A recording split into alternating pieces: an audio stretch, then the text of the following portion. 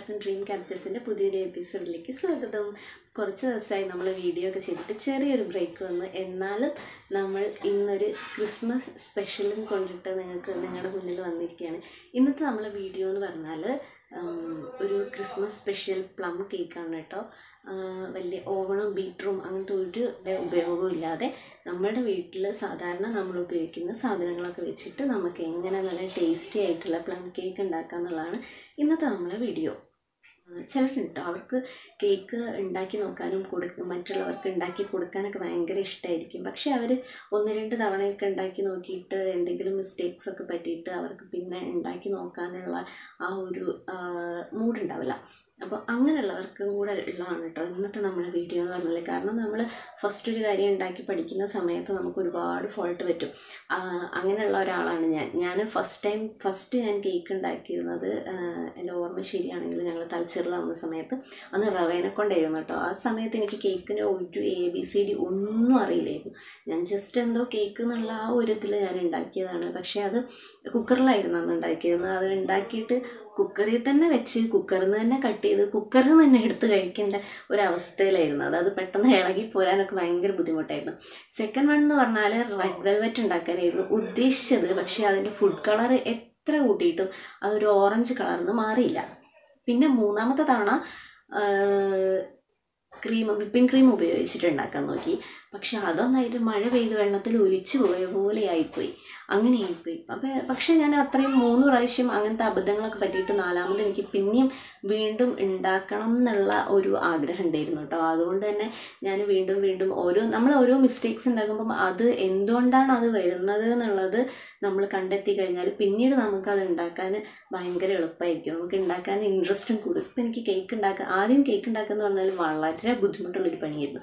പക്ഷെ ഇപ്പോൾ കേക്ക് ഉണ്ടാക്കുക എന്ന് പറഞ്ഞാൽ വളരെ ഈസിയാണ് അപ്പോൾ നമ്മൾ അതിലേക്ക് എടുക്കുന്ന അളവുകളും കാര്യങ്ങളും ഒക്കെ കറക്റ്റ് എമൗണ്ടിലായി കഴിഞ്ഞിട്ടുണ്ടെങ്കിൽ നമുക്ക് പെട്ടെന്ന് തന്നെ എളുപ്പത്തിൽ ഉണ്ടാക്കിയെടുക്കാൻ പറ്റുന്ന ഒരു റെസിപ്പിയാണ് അപ്പം ഇന്നത്തെ നമ്മളെ വീഡിയോ എന്ന് പറഞ്ഞാൽ ഞാൻ കറക്റ്റ് അതിൽ എടുത്തിരിക്കുന്ന എല്ലാത്തിന്റെ കറക്റ്റ് എമൗണ്ടും എത്ര എത്ര ഗ്രാം വേണം എന്നുള്ളതൊക്കെ ഞാൻ ആ വീഡിയോയിൽ പറഞ്ഞിട്ടുണ്ട്. അത് കേക്കിന്റെ ഒരു എ ബി സി ഡി ഒന്നും അറിയാത്തവർക്ക് പോലും ആ എമൗണ്ടിൽ കറക്റ്റ് അളവിൽ എടുത്തിട്ട് പ്രിപ്പയർ ചെയ്ത് കഴിഞ്ഞാൽ നല്ല ടേസ്റ്റി ആയിട്ടുള്ള കേക്ക് ഉണ്ടാക്കാൻ പറ്റുന്നതാണ്. നമുക്ക് പെട്ടെന്ന് വീഡിയോ കാണാം. പിന്നെ നമ്മുടെ ചാനൽ ഫസ്റ്റ് ടൈമാണ് കാണുന്നതെങ്കിൽ നമ്മുടെ ചാനൽ സബ്സ്ക്രൈബ് ചെയ്യാത്തവരുണ്ടെങ്കിൽ പെട്ടെന്ന് പോയിട്ട് സബ്സ്ക്രൈബ് ചെയ്യുക. അതിന്റെ തൊട്ടടുത്ത് ഒരു ബെല്ലൈക്കൺ കാണാം. ബെല്ലൈക്കൺ കൂടെ ക്ലിക്ക് ചെയ്യുമ്പോൾ ഓൾ എന്നുള്ള ഓപ്ഷൻ വരും. അതും കൂടെ ഒന്ന് ചെയ്ത് കൊടുക്കുക. അങ്ങനെയാകുമ്പോൾ നമ്മൾ ഫ്യൂച്ചറിൽ ഇടുന്ന എല്ലാ വീഡിയോസും മിസ് ചെയ്യാതെ നിങ്ങൾക്ക് കാണാൻ പറ്റും. ഓക്കെ അങ്ങനെ നമ്മൾ കേക്ക് ഉണ്ടാക്കാൻ വേണ്ടിയിട്ടുള്ള മിക്സഡ് ഡ്രൈ ഫ്രൂട്ട് ഇവിടെ എടുത്ത് വെച്ചിട്ടുണ്ട്. അതായത് ഇതിനകത്ത് ഞാൻ എന്തൊക്കെയാണ് ചേർത്തതെന്ന് വെച്ചാൽ കാഷ്യൂ ബദാം പിന്നെ നമ്മുടെ ടൂട്ടി ഫ്രൂട്ടി ഉണ്ട്. പിന്നെ ഈന്തപ്പഴം. ഈന്തപ്പഴം കുഞ്ഞതാക്കിയിട്ട് അരിഞ്ഞത്. പിന്നെ കിസ്മിസ്. ഇതൊക്കെയാണ് ഇതിന്റെ അകത്ത് ഞാൻ മിക്സ് ചെയ്തിട്ട് വെച്ചിരിക്കുന്നത്. അതിനുശേഷം ഞാനിവിടെ ഒരു പാൻ ഞാൻ ഗ്യാസിലേക്ക് വെച്ചിട്ടുണ്ട്. അതിനകത്തേക്ക് നമ്മുടെ ഈ ഡ്രൈ ഫ്രൂട്ട്സ് മുഴുവനും ഞാൻ ആഡ് ചെയ്ത് കൊടുക്കുകയാണ് ചെയ്യുന്നത്. ഇനി ഇതിനകത്തേക്ക് നമ്മൾ ഫ്രഷ് ഓറഞ്ച് ജ്യൂസ് ആഡ് ചെയ്ത് കൊടുക്കുന്നുണ്ട് കേട്ടോ. അതെന്താണെന്ന് വെച്ചാൽ അതിന്റെ ഒരു ഫ്ലേവറിന് ഒരു ഒരു സ്പെഷ്യൽ ഫ്ലേവർ വരാൻ വേണ്ടിയിട്ടാണ് അങ്ങനെ ചെയ്യുന്നത്. നമുക്ക് ഏത് ജ്യൂസ് നിങ്ങൾക്ക് ഏത് ജ്യൂസാണോ ഇഷ്ടം അത് ആഡ് ചെയ്ത് കൊടുക്കാം. ഇനി അതല്ലെങ്കിൽ വൈനോ റമ്മോ എന്തായാലും നമുക്ക് ഇതിനകത്തേക്ക് ആഡ് ചെയ്ത് കൊടുക്കാം കേട്ടോ. ഞാൻ ഇതിനകത്തേക്ക് ഓറഞ്ച് ജ്യൂസാണ് ആഡ് ചെയ്ത് കൊടുത്തത്. അതിനി നന്നായിട്ട് ഈ ഡ്രൈ ഫ്രൂട്ടിൽ കിടന്ന് നന്നായിട്ട് തിളച്ച് ആ ജ്യൂസ് വറ്റുന്ന വരെ നന്നായിട്ട് ഇളക്കി കൊടുക്കുക. അങ്ങനെ നമ്മൾ ജ്യൂസും ഡ്രൈ ഫ്രൂട്ടും കൂടെ നന്നായിട്ടൊന്ന് തിളച്ച് വരുന്നുണ്ട് കേട്ടോ. ഇനി ഇതൊന്ന് ഈ എന്താ പറയുക ഈ ഒരു ജ്യൂസിന്റെത് ആ ഒരു വാട്ടർ കൺസിസ്റ്റൻസി മാറിയിട്ട് നമ്മൾ ആ ഡ്രൈ ഫ്രൂട്ട് മാത്രമായിട്ട് വരും. അങ്ങനെ ഒരു കൺസിസ്റ്റൻസിയിലെത്തുമ്പോൾ നമുക്ക് ഇത് വേറൊരു പാത്രത്തിലേക്ക് മാറ്റി കൊടുക്കാം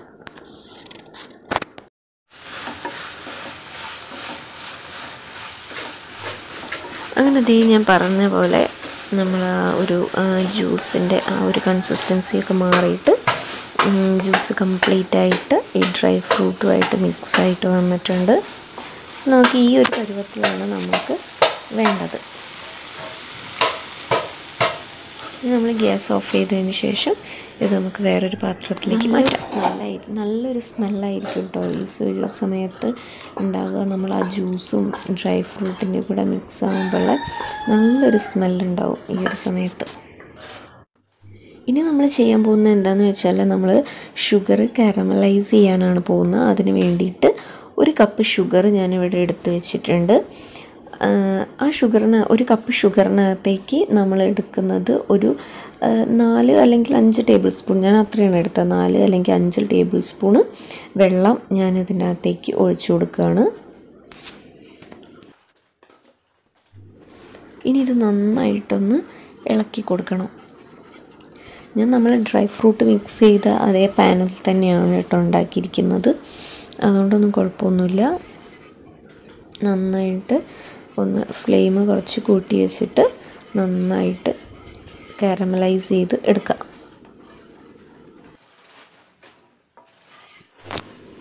അങ്ങനെ നമ്മൾ ഷുഗർ നല്ല രീതിയിൽ തന്നെ കാരമലൈസ് ആയിട്ട് വരുന്നുണ്ട്. കാണാൻ പറ്റുന്നില്ലേ? ഇനി നമുക്ക് ഫ്ലെയിം ഓഫ് ചെയ്തിട്ട് ഇതൊരു പാത്രത്തിലേക്ക് മാറ്റാം.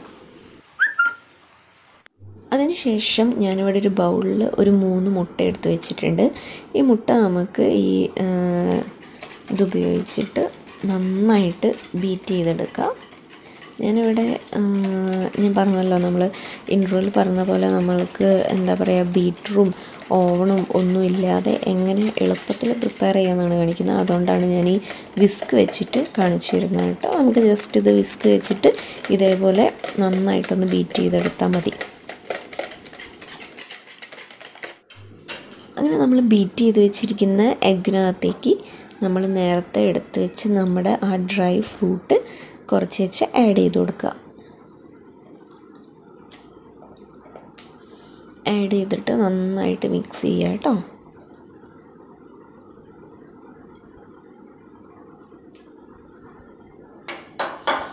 ഇതിന് നന്നായിട്ട് നമ്മൾ ഇതേപോലെ മിക്സ് ചെയ്യുകയാണ് ചെയ്യുന്നത്.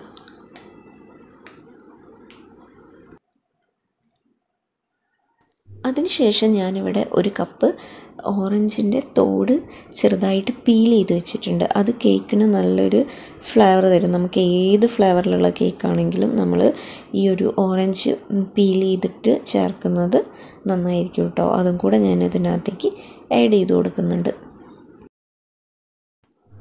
നെക്സ്റ്റ് നമ്മൾ ഇൻഗ്രീഡിയന്റ് എന്ന് പറഞ്ഞാൽ ഷുഗർ പൗഡറാണ് ഷുഗർ പൗഡറിന്റെ കൂടെ ഞാൻ ചെറിയ ഒരു രണ്ട് കഷ്ണം പട്ടയും അതേപോലെ പൂവ് നമ്മൾ കറാമ്പട്ട എന്നൊക്കെ പറയുന്ന പോലെ പട്ടയും പൂവും കൂടെ ഞാൻ ഈ ഷുഗറിന് കൂടെ ഇട്ടിട്ട് ഒന്ന് മിക്സ് ചെയ്തിട്ടുണ്ട്.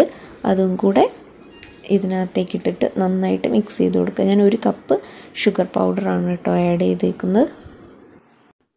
ഫൈനലി നമ്മൾ എടുക്കുന്നത് നമ്മുടെ മൈദ മൈദയും ബേക്കിംഗ് പൗഡർ മൈദ ഞാൻ ഒരു കപ്പ് അതായത് ഇരുന്നൂറ്റമ്പത് ഗ്രാമിന്റെ ഒരു കപ്പിൽ ഒരു കപ്പ് മൈദയാണ് എടുത്തിരിക്കുന്നത് അതിനകത്തേക്ക് ഒരു രണ്ട് ടേബിൾ സ്പൂണ് ബേക്കിംഗ് പൗഡറും കൂടെ ആഡ് ചെയ്തിട്ടുണ്ട്. അത് രണ്ടും കൂടെ ഞാൻ നന്നായിട്ടൊന്ന് മിക്സ് ചെയ്ത് വെച്ചിട്ടുണ്ട് കേട്ടോ. ഇനി നമ്മൾ ചെയ്യാൻ പോകുന്നത് കുറച്ച് മൈദ നമ്മുടെ മിക്സിനകത്തേക്ക് ആഡ് ചെയ്ത് കൊടുക്കുകയാണ്. ഒന്നായിട്ട് ആഡ് ചെയ്ത് കൊടുക്കാതിരിക്കാൻ ശ്രദ്ധിക്കണം. അപ്പം നമുക്ക് ചിലപ്പം മിക്സ് ചെയ്യുമ്പം അതിൽ മൈദേന്റെ കട്ടകളൊക്കെ വരാനുള്ള സാധ്യത ഉണ്ട് അതുകൊണ്ട് കുറച്ചേച്ച് കുറച്ചേച്ച് ആഡ് ചെയ്ത് കൊടുക്കുക. അതിന്റെ കൂടെ തന്നെ നമ്മൾ എടുത്തിരുന്ന ഷുഗർ സിറപ്പും കുറച്ച് കുറച്ചായിട്ട് ആഡ് ചെയ്യുക. ഷുഗർ സിറപ്പ് മീൻസ് നമ്മൾ കാരമലൈസ് ചെയ്ത് വെച്ച് ഷുഗർ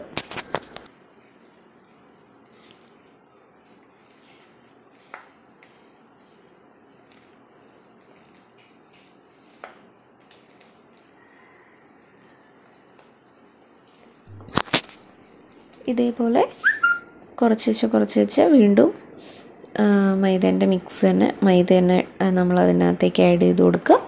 അതിന്റെ കൂടെ കാരമലൈസ് ചെയ്ത ഷുഗറും വീണ്ടും ആഡ് ചെയ്യുക. ഒന്നായിട്ട് ഷുഗർ ഒഴിക്കാതിരിക്കുക നമ്മൾ കാരമലൈസ് ചെയ്ത ഷുഗർ ഒന്നായിട്ട് ഒഴിക്കാതിരിക്കാൻ ശ്രമിക്കുക കേട്ടോ. അപ്പം നമ്മുടെ കേക്കിന്റെ കൺസിസ്റ്റൻസി കംപ്ലീറ്റ് മാറും. ഫൈനലി നമ്മളെ കേക്കിന് ആവശ്യമായിട്ടുള്ള ബാറ്റർ ഇവിടെ റെഡിയായി കഴിഞ്ഞിട്ടുണ്ട്. ഇനി നമ്മളിത് നമ്മുടെ കേക്ക് പാനിലേക്ക് മാറ്റണം. അതിന് വേണ്ടിയിട്ട് ഞാനിവിടെ ദേ ഒരു കേക്ക് പാന് എടുത്തിട്ടുണ്ട്. ഇതുപോലെ ബട്ടർ പേപ്പറൊക്കെ വെച്ച് സെറ്റ് ചെയ്തതിന് ശേഷം അതിന്റെ അകത്തേക്ക് ആ ബാറ്റർ ഒഴിച്ചു കൊടുത്തു. ആ ബാറ്ററിന്റെ മുകളിൽ നമ്മൾ ചെറുതായിട്ടൊന്ന് കാഷ്യൂ ഇതേപോലെ ഒന്ന് ചെറുതായിട്ട് ഡെക്കറേറ്റ് ചെയ്യുക എന്നുള്ളൊരു രീതിയിൽ ഞാൻ കുറച്ചെണ്ണം ഇതിന്റെ മുകളിൽ ഇങ്ങനെ വെച്ച് കൊടുക്കുന്നുണ്ട് കേട്ടോ. ഇതേപോലെ ഒരു പാത്രത്തിൽ ഉപ്പിട്ടിട്ട് തട്ടിറക്കി വെച്ചിട്ട് അത് പ്രീ ഹീറ്റ് ചെയ്തിട്ട് ആണ് ഞാൻ കേക്ക് ഉണ്ടാക്കാറുള്ളത്. നമ്മൾ മുന്നത്തെ കേക്കിന്റെ വീഡിയോ കണ്ടാൽ നിങ്ങൾക്ക് മനസ്സിലാവും. ആ ഒരു പ്രൊസീജിയർ സെയിം തന്നെയാണ് കേട്ടോ ഞാൻ ഇതിലും ചെയ്യുന്നത്. അങ്ങനെ നമ്മൾ ടേസ്റ്റി ആയിട്ടുള്ള കേക്ക് ഇവിടെ റെഡി ആയി കഴിഞ്ഞു. ഇതേ കണ്ടോ? നല്ല അടിപൊളിയായിട്ടുണ്ട് കേട്ടോ. ഇനി നമുക്കിത് കട്ട് ചെയ്യണം. ടൈം പറയാനാണെങ്കിൽ ഏകദേശം ഒരു ഫോർട്ടി ഫൈവ് മിനിറ്റ്സിന്റെ അടുത്ത് തന്നെ എത്തിയിട്ടുണ്ട് കേട്ടോ. നമുക്കിത് സെറ്റാവാൻ അങ്ങനെ വീഡിയോ എടുക്കുന്നവരെ അക്കു ക്ഷമ കെട്ട് നിൽക്കുകയായിരുന്നു കേട്ടോ ഇതെങ്ങനെയെങ്കിലും ഒന്ന് കട്ട് ചെയ്യാൻ വേണ്ടിയിട്ട്. അത് കട്ട് ചെയ്ത് കിട്ടിക്കഴിഞ്ഞപ്പോഴാണ് അവന് സമാധാനമായത്. അപ്പോൾ നമ്മൾ ഇന്നത്തെ ടേസ്റ്റി ടേസ്റ്റി ആയിട്ടുള്ള ഏറ്റവും എളുപ്പത്തിൽ എങ്ങനെ പ്ലം കേക്ക് ഉണ്ടാക്കുക എന്നുള്ളതായിരുന്നു നിങ്ങൾക്ക് എല്ലാവർക്കും നമ്മളെ വീഡിയോ ഇഷ്ടപ്പെട്ടു എന്ന് വിചാരിക്കുന്നു. എല്ലാവരും ഉണ്ടാക്കി നോക്കണം. എന്നിട്ട് നിങ്ങൾ കമന്റ് ചെയ്യണം. ഓക്കെ അപ്പോൾ എല്ലാവർക്കും മെരി ക്രിസ്മസ്.